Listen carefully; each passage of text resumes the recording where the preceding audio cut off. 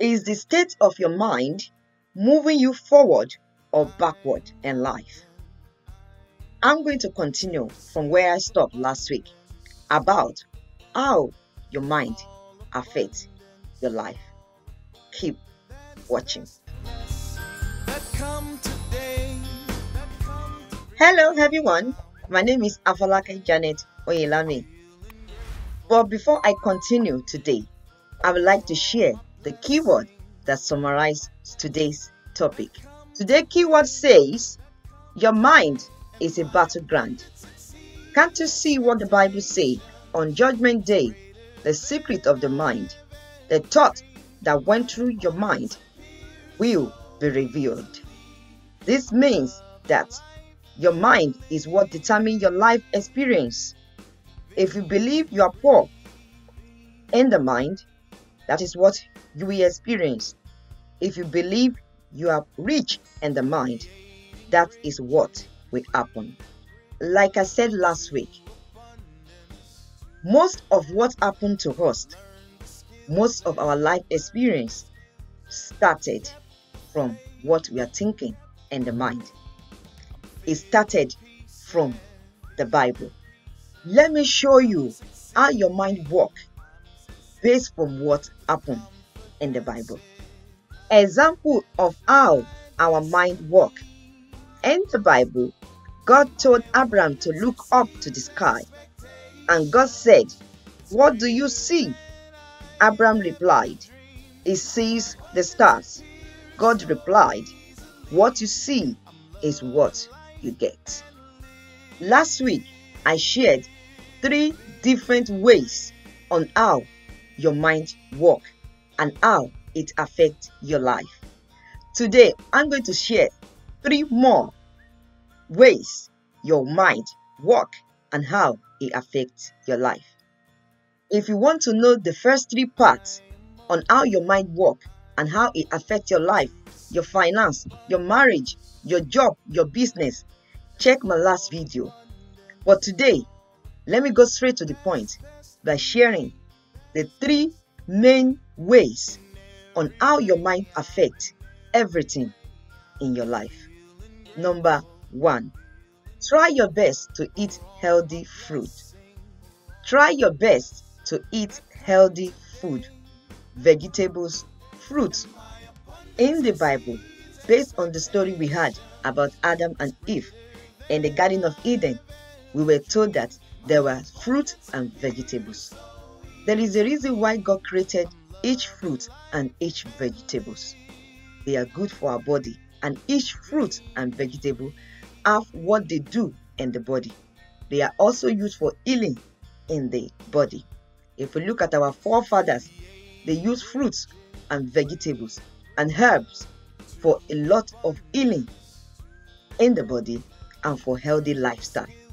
So try your best to eat healthy food. Sometimes ago, I watched a short video about how our third eye work.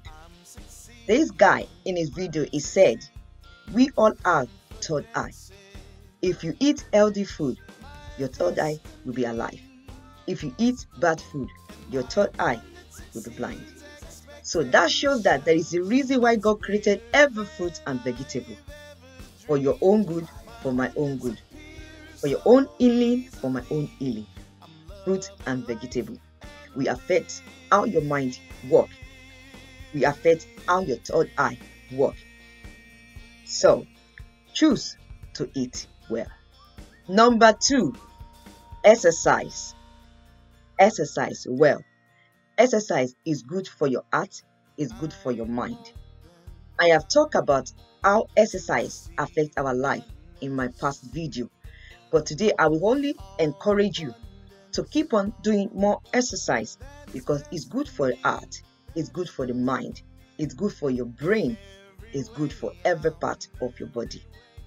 Adopt exercise as part of your lifestyle. The only advice I will give on exercise is this don't exercise except it is good for your body. It's okay for your body. Try some little exercise, stretching, yoga, try some of this exercise. If it's good for your health, continue it.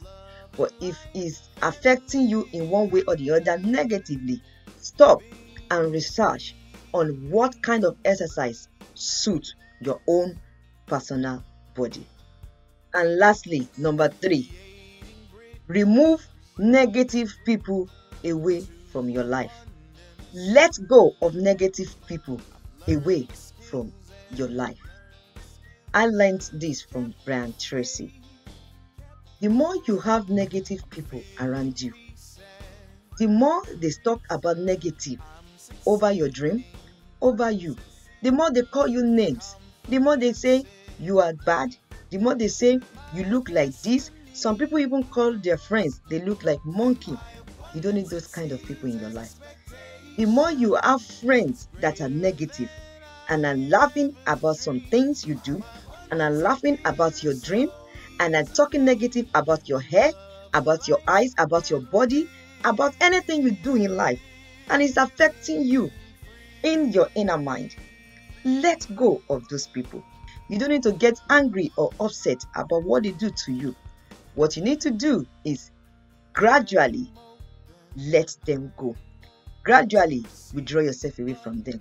The more you stay around negative people, the more you get stressed out with their negative word, the more you become unhappy about what they say about you, the more your mind cannot work effectively. The more you cannot have time to think positively, to get ideas about how to move forward in life. Let go of negative people out of your life. Then you will have time to think, you will have time to pray, you will have time to meditate, you will have time to get more idea during your meditation time. And then you will have time to move fast forward in life. I hope this encourage you to run after your dream, to work on your mind, become who you are meant to be in life. Speak to you soon. God bless.